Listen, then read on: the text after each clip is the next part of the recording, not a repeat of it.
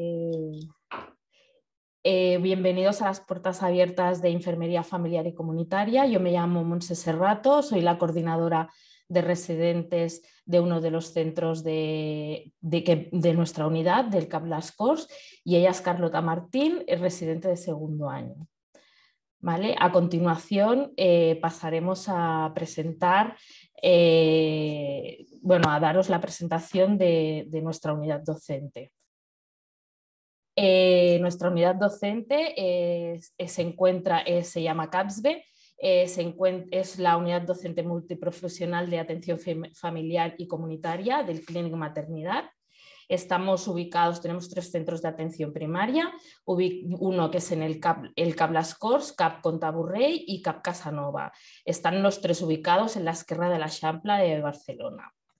Nuestra historia o nuestro recorrido en la unidad docente la constituimos en 1997 en el Cablas Cors. Eh, la primera promoción eh, empezó en el 98, en el 2005 se incorporó los otros dos centros y en el 2010 se incorporó enfermería, eh, la especialidad de enfermería familiar y comunitaria. Este año será la, tercera, la, decimotercera promoción de, enfermeras especialistas. ¿Vale? Eh, tenemos, eh, como ya os he comentado antes, tres centros de atención primaria que forman la unidad docente. Después tenemos tres eh, hospitales, que es el Hospital Clínic, la Seu Hospital Plató y la Seu Maternitat. ¿vale? Y después trabajamos con el Hospital San Joan de con el Servicio de Emergencias eh, Médicas, PADES, ASIR, CUAP y, el, Centro de Higiene Mental. Vale. Eh, nuestra unidad docente está ubicada en, en, las CORS, ¿vale? Tenemos actualmente 49 residentes entre medicina y enfermería. Tenemos acreditados a 41 tutores, tenemos dos especialidades y este año ofertamos nueve plazas de MIR y ocho plazas de enfermería. Trabajamos con 12 áreas competenciales, nueve de las competencias avanzadas en el, ámbito familiar y comunitario, que son eh, la clínica metodológica y avanzada, atención a la infancia, atención a la adolescencia, atención a la salud general en, la etapa adulta, atención eh, a salud sexual, reproductiva y de género, atención a las personas grandes, atención a las familias, atención a las urgencias y emergencias y atención a la salud delante de las situaciones de fragilidad o de riesgo socioeconómico.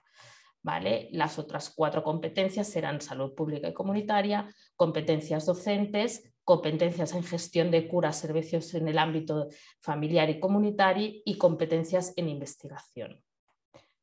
¿Vale? Eh, este programa es un instrumento dinámico ¿vale? que se ha de revisar periódicamente y que eh, em, se adapta a las necesidades que van cambiando del desarrollo científico y de, la sociedad, de nuestra sociedad. Eh, en, perdón, eh, que ofrecemos nosotros en la unidad docente. Tenemos una unidad de recerca que es del CAPSE, ¿vale? Eh, en la que ofrecemos un curso de formación de metodología para los residentes de primer año.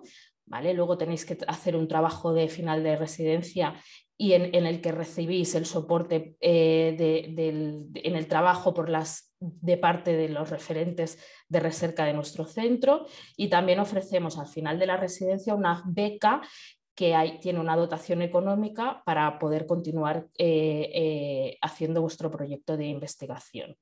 ¿vale? En la unidad de formación del CAPSB tenemos, eh, hacemos sesiones internas,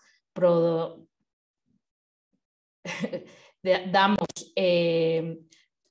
cursos propuestos por nuestra unidad, hacemos formación conjunta con otras unidades docentes de Cataluña y hacemos formación en el CUAP protocolos, procedimientos y también tenemos sesiones de taller de habilidades.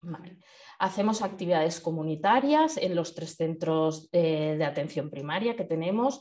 Estas sesiones, eh, o sea, eh, a nivel de las residentes, se, se incorporan a todas las actividades comunitarias que hacen en los centros.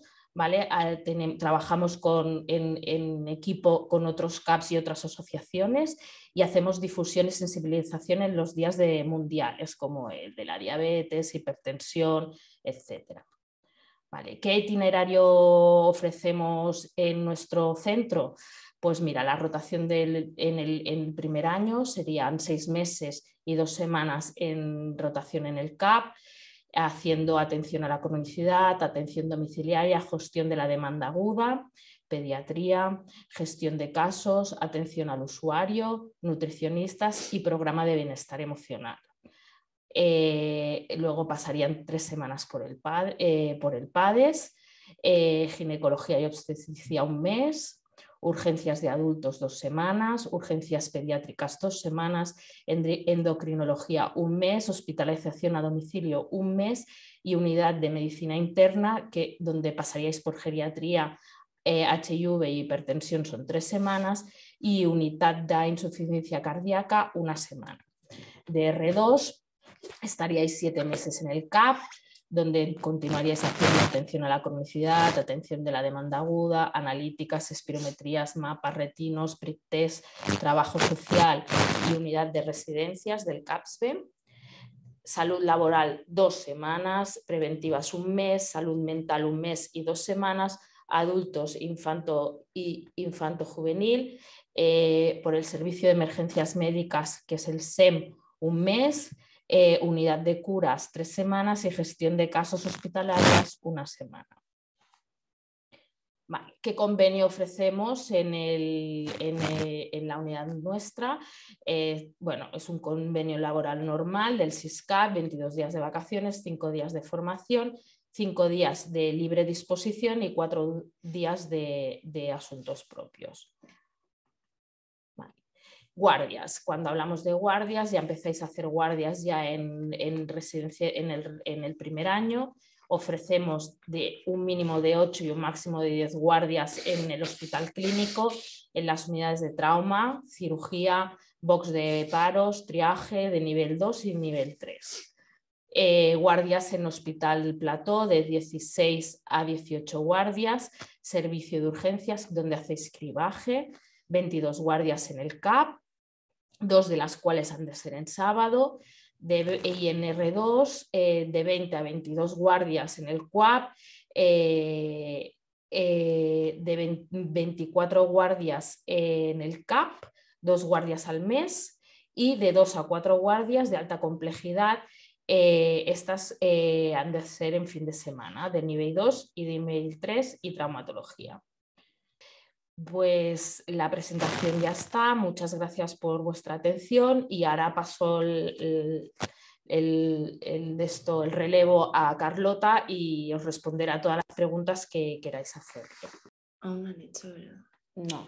Bueno, sí, Carlota, si quieres explicar un poco yo os explico un poco mi experiencia. Para mí eh, ha merecido mucho la pena elegir esta especialidad.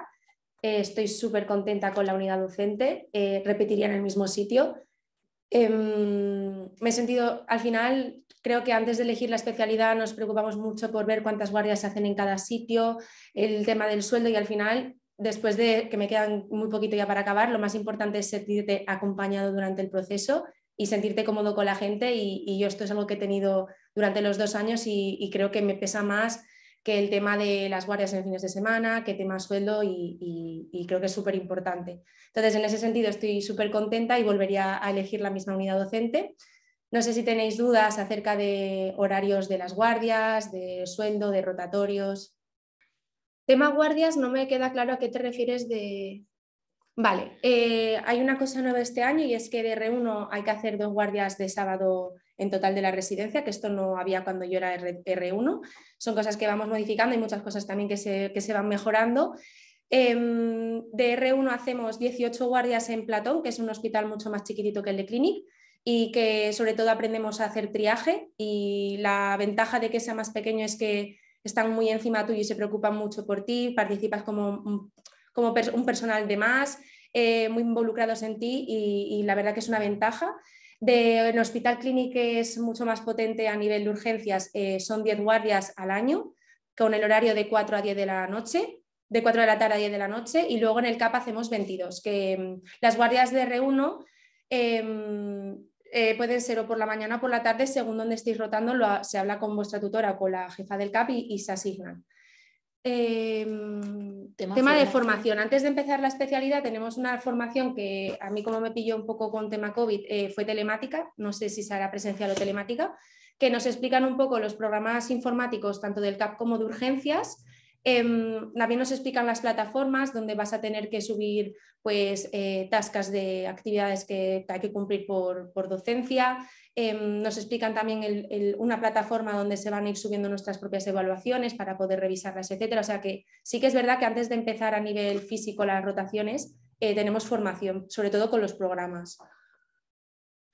Mm, ¿Se rota por consultas específicas como estomaterapeuta, etcétera? Eh, no, o sea, las rotaciones son las que ha explicado Monse. Em, no hay, una, hay, consultas como así como tan específicas, pero es verdad que cuando estéis en los rotatorios hay flexibilidad. Por ejemplo, el rotatorio de preventiva, que yo lo he hecho este año de R2, eh, no solo es preventiva como tal, sino que rotamos con las consultas de preventiva en pacientes inmunodeficientes, también rotamos con screening de mama, con screening de cáncer de colon, eh, con infecciosas, o sea, el, título igual engloba de forma general muchas cosas, pero luego es verdad que, pasamos por diferentes mini servicios dentro del mismo servicio, por así decirlo.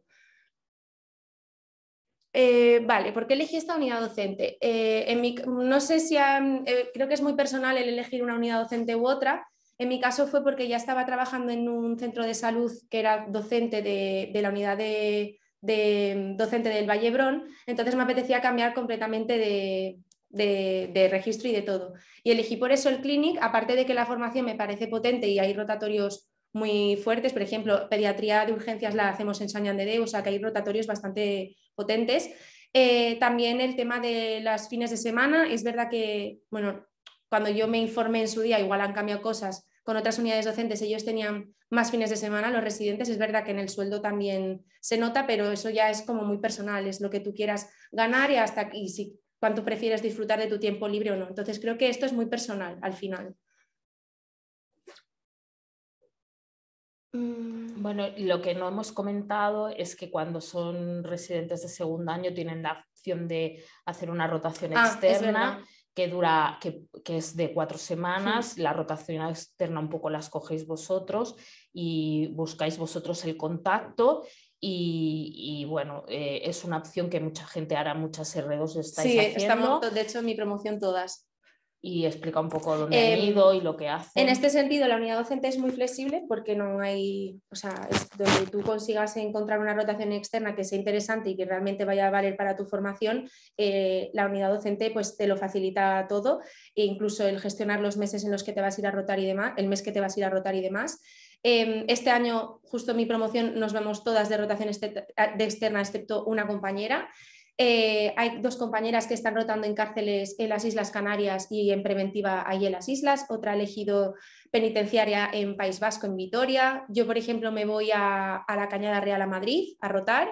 Em, otra, otra compi ha elegido hacer rural en la montaña de aquí de Cataluña, en la zona de, la montaña de aquí. Y, y, hay otra compañera que, sin embargo, se ha quedado en Barcelona y eligió otro CAP porque tenían un tipo de población diferente a la que nosotros tenemos, entonces, que es la zona del Raval. Entonces, en ese sentido, es verdad que nos han dado mucho, mucho margen, que haciendo las cosas con tiempo y explicándolas y organizándonos no hemos tenido ningún tipo de problema en ninguna de las ocho. Mm, vacaciones iguales se puede hacer cuando quieras. Vale, durante Creo que esto eh, varía un poco en función de los CAPS. La unidad docente tiene tres centros de salud y al final cada uno tiene también un poco su propia organización. Eh, durante R1 las vacaciones es verdad que no nos coordinamos tanto con las tutoras y de R2 sí que te tienes que coordinar con tu tutora para no coincidir las dos, porque hay alguien que tiene que cubrir al final la, la, asistencia. Eh, las guardias, cuando las ofrecen hacer, sí que te coordinas con tu compañera en el centro de salud para ver a cuál de las dos os va bien y al final, al final es todo comunicación y yo creo que en, esta unidad docente en concreto eh, de eso sobra y al final es todo, no sé, son facilidades, son todo facilidades en este sentido. Sí, el tema de guardias y vacaciones es esto que ha comentado Carlota, ¿vale? Las guardias os las organizáis un poco el planning entre las propias residentes, ¿no? Que os dan una propuesta y vosotras decidís cuándo hacéis la guardia. Y a nivel de vacaciones, en principio, cuando suele haber más conflicto puede ser en verano. En R1 no suele haber problema porque eh, es indiferente que las hagas con o sin tu tutora y de R2 normalmente tienes que hacer espejo con tu tutora. Si tu, si tu tutora está de vacaciones, tú tienes que hacer la agenda y, cubrir, como si dijéramos, a la tutora y viceversa, ¿vale? Pero bueno, que todo se habla y todo se puede negociar. Por ejemplo, de Aragón en mi tiempo de trabajo. Me puntúa siempre que sea público Vale, esto tenéis que informaros en vuestra correspondiente comunidad autónoma porque hay muchas, no sabría decir cuál, pero por ejemplo yo que soy de Asturias tampoco puntúo allí. Los dos años de la especialidad no puntúan como experiencia laboral, puntúa solo el título de especialidad. Entonces esto creo que sería cada uno ya informarse en su comunidad autónoma. Vale, la formación, tenemos formación telemática antes de empezar la especialidad eh, con los programas informáticos y luego durante la residencia sí que tenemos formación, tenemos no sé si diría cada mes o cada mes y medio formación teórica, que es eh, aprendizaje basado en problemas, que es eh, aplicar teoría eh, basándonos en casos clínicos. Em, después también tenemos, bueno, nos, ofrece también la unidad docente, nos ofrece también muchos congresos, es una unidad docente que fomenta mucho la, la, investigación, entonces sí que estamos bastante con el tema de la investigación actualizados, eh, se nos proponen congresos para llevar el proyecto de investigación que estemos realizando cada una y, en este sentido esto. Mm, sí, pero me refiero si a término general esta unidad de ah, En principio, o sea, no sé si te refieres al título. El título es, eh, lo otorga el ministerio, entonces es igual en todas las comunidades autónomas. No tiene nada que ver que lo hayas hecho en, como en una entidad que no llega a ser pública al 100%, sino que es mixta pero para el tema de la experiencia laboral de estos dos años, sí que lo tendrías que, te tendrías que informar en tu, en tu comunidad autónoma, porque no puntúa igual. Pero a nivel de título, el título especialista es igual aquí y en cualquier otra comunidad autónoma porque lo expide el Ministerio de Sanidad. O sea que en ese sentido da igual que no sea público al 100%. Es que aquí en Cataluña eh, la sanidad pública funciona un poco diferente. Sí que mm. tenemos SIX, pero eh, la concertada funciona igual que la pública. Lo que eh, entiendo que el título de especialidad eh, para la bolsa de trabajo es igual para todo el mundo no, no, hay ningún problema. No sé si tenéis más dudas, me podéis preguntar todo lo que queráis. Vale. Eh, yo para este tema, bueno, yo ya estaba en Barcelona cuando elegí la especialidad, pero por otras compañeras que son de fuera y se vinieron exclusivamente a hacer la especialidad aquí a esta unidad docente, existen muchos grupos en Telegram, eh, en función de la comunidad autónoma en la que elijáis la, especialidad, donde hay gente en la misma situación y entonces os ponéis en contacto para poder el tema de, buscar pisos y demás. Puedo decir que acabáis compartiendo casi todas, las eh, residentes piso. Eh, por ejemplo, las, las, tres que hay ahora, las tres R1 que hay en las CORS, eh, viven juntas en el mismo piso con una de Borrello de, o del Cap Borrello de Capcas. Son cuatro y, todas comparten. Y después también puedo decir que, eh, que normalmente ya os vais pasando los contactos y, y todo esto. ¿Tenéis dudas acerca de, no sé, de de la formación, de las rotaciones. ¿Podrías repetir todos los CAPS hospitales que se ofertan? Vale, eh, los centros de salud que hay en la unidad docente es eh, Borrell, Casanova y Las Cors, son tres, ¿vale? Eh, luego, el rotatorio de hospital siempre va a ser en el clínico en el Hospital Plató y el CUAP siempre es el CUAP de Manso, que es donde hacemos guardias de R2. Em, y luego pues están los diferentes organismos donde rotamos. Está el Hospital San Juan de Deu para pediatría, Em, el centro de salud mental del adulto que pertenece al clínico, que no está exactamente metido en el clínico, pero que está al lado. O sea, la verdad que todas las rotaciones están súper próximas. Entonces, eso sí, pues se, agradece cuando tienes que rotar, por ejemplo, en el centro de salud y te tienes que ir de guardia clínica, es que lo tienes a 10 minutos andando, según el centro de salud. O sea que en Las distancias son cortas. Sí, exacto, eso iba a decir. Aunque el centro que tenemos más apartado, que es las Caplas Cors, estás a 15-20 minutos caminando del de, clinic. Hmm y, el, y, las prácticas, la rotación que podéis hacer más lejos es la de San Juan de, Sí, porque el hospital está más apartado. Pero está cerca del cliente. Pero eso se agradece mucho, sobre todo para el tema de guardias, cuando tienes que ir de un sitio a otro, el que estén cerca ayuda muchísimo.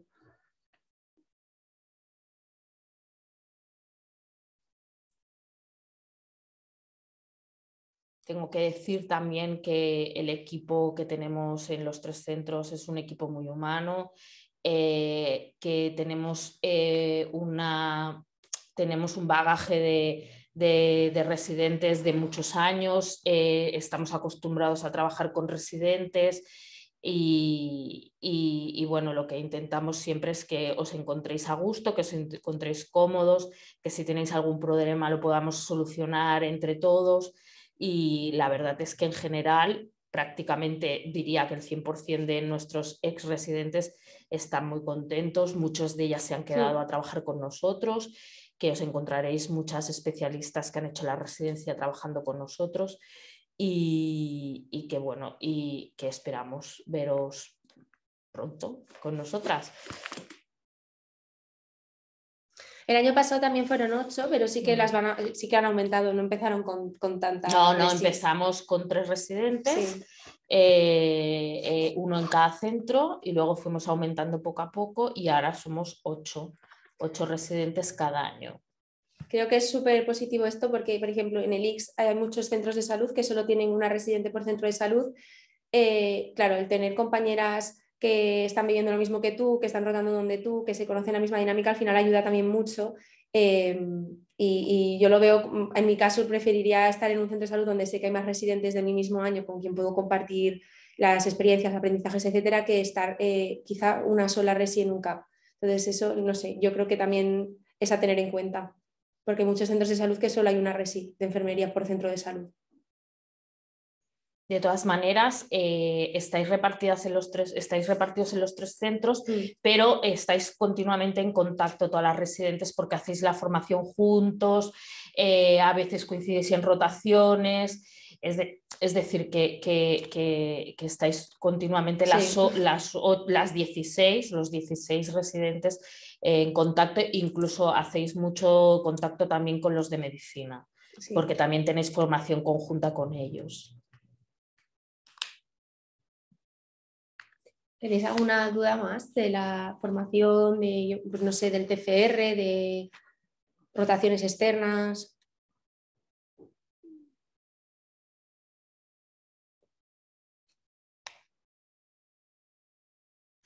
Bueno, el TFR que ha comentado Carlota es el trabajo final de la residencia, la empezáis a hacer en enero ahí en enero. En, primera, en el primer curso hacéis un curso de metodología que os ya he comentado antes, que, nos, que lo realiza el técnico de salud que tenemos en el, en CAPSB.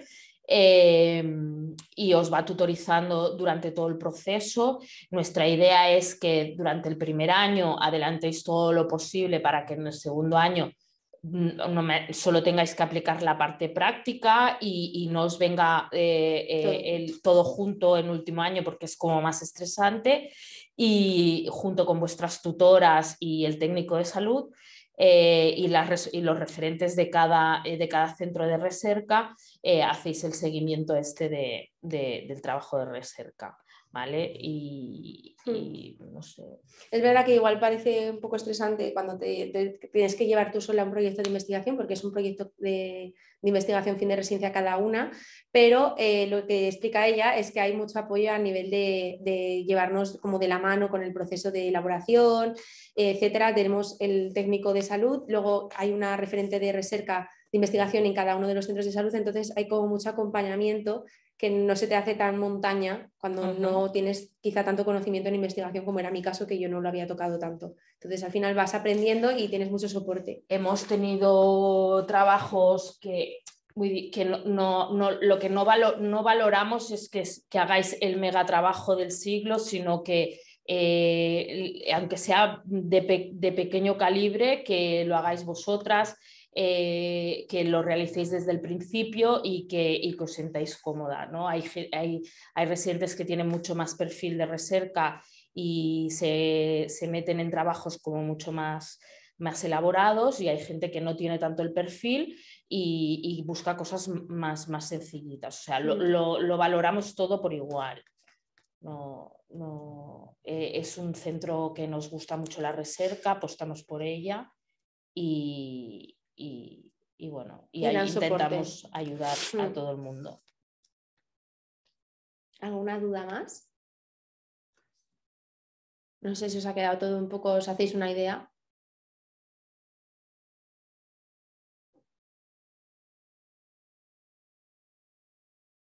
Bueno, pues... Espero que os haya servido para aclararos. Muchas gracias por escucharnos. Esperamos veros pronto en nuestra unidad docente y, y nada. Un saludo. Un saludo.